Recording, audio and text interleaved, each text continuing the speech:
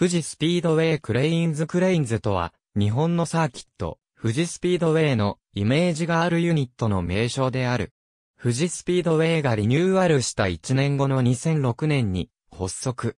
毎年3月にメンバー3人が選出、発表され、同サーキットの PR 活動を行っている。他サーキットのイメージガールとは違い、レースクイーン経験者が多い。また2年以上勤めている者もおり、マスアヤは歴代最多の5年間勤めている。ユニット名は、同サーキットのメインスタンドの屋根が、折り鶴をモチーフに作られたことから、日本を象徴する鳥である、鶴の英語訳、クレーンに由来している。第6期クレインズ発表。あれこれクレインズ。富士スピードウェイ。2017年3月26日閲覧。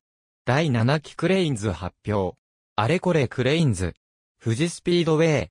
2017年3月26日閲覧。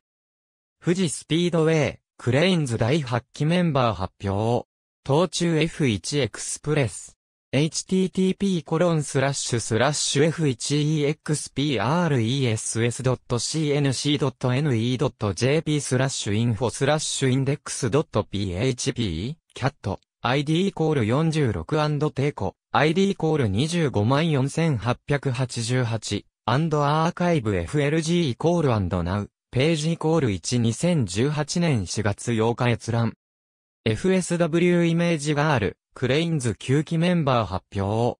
オートスポーツ。三栄処方。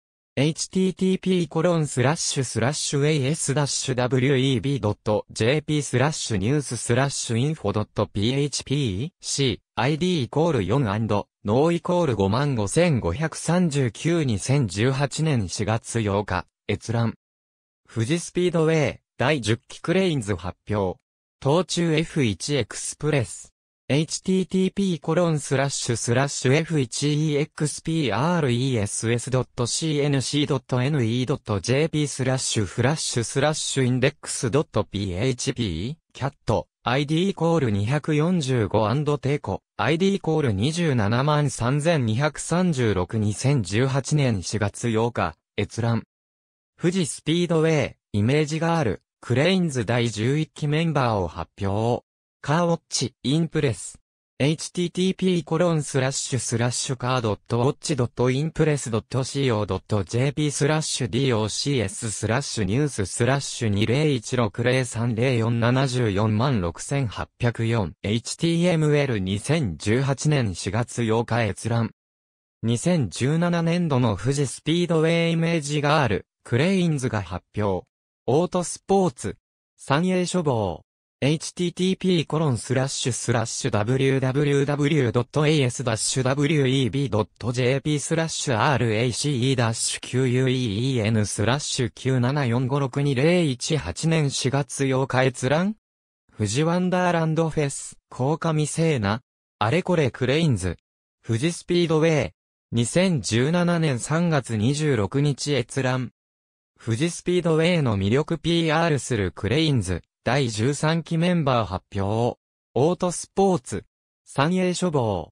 http コロンスラッシュスラッシュ www.as-web.jp スラッシュ race-queen スラッシュ355236 all 2018年4月8日閲覧。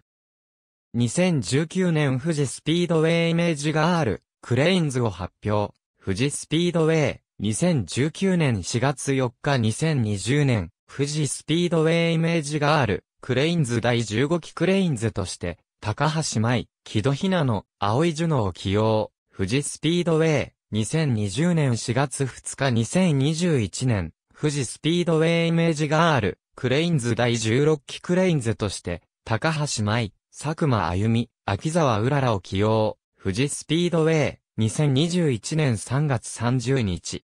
ありがとうございます。